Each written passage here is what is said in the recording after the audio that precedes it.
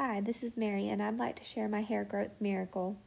In 2011, I was diagnosed with Lyme disease and was losing my hair because I was taking Depakote, an anti seizure medication which causes hair loss.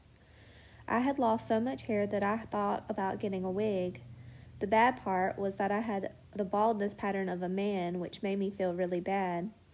A few years later, I was put on two more medications to treat my symptoms, and they both also cause hair loss as well so I am still on three medications that cause baldness.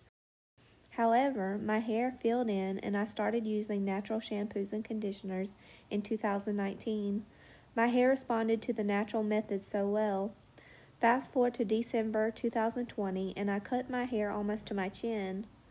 In January 2022, my grandma made the comment that my hair was getting really long and I didn't think much about it until I posted a picture of my hair in May of 2022, and some of my friends on Facebook couldn't believe how long my hair had gotten. And then I couldn't believe it. My hair had grown over a foot in just a little over a year. I realized that God had restored my hair and made it grow so much.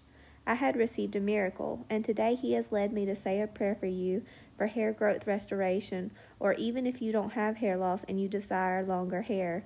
This prayer is for you. Lord, I thank you for my brothers and sisters in Christ, and I come to you today to thank you for what you are doing in their lives. I declare new hair growth over anyone who needs it and anyone who just desires it.